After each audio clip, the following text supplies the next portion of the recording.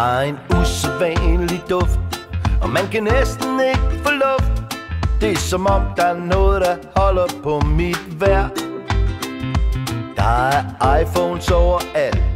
Og når historier bliver fortalt Ja, så er der aldrig en, der hører på det, man siger. I første klasse lærte vi, at to og to er fire. Og i skolegården duft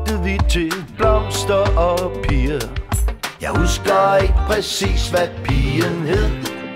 Nej, men hun græd og var lidt nedtrykt, da jeg skrev Og så lærte jeg da lidt om kærlighed. Der er en helt utrolig duft Og man kan næsten ikke få luft Det er som om der er noget, der holder på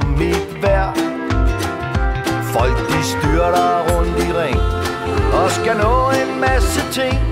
Ja, de er travlt, og det er tydeligt for enhver De står op der midt om natten som en anden liste tyv Og tjekker ind på arbejdspladsen Og helst før klokken syv.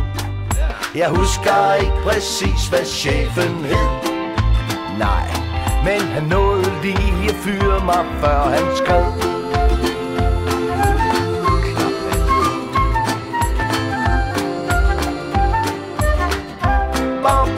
bum, bum, bum, bye, bye.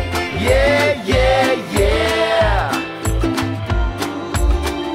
Der var en helt utrolig duft Og jeg kunne næsten ikke få luft Da jeg endelig fandt prinsessen i mit liv. Hun havde en gud lækker krop Og jeg kunne næsten ikke holde op Når hun viskede i mit øre.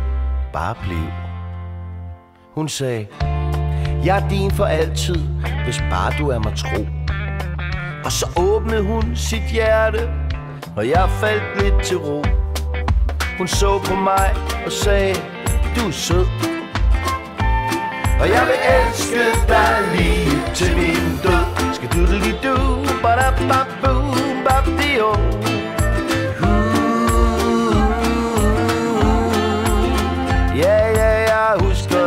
præcis, hvad pigen hed Mm-mm.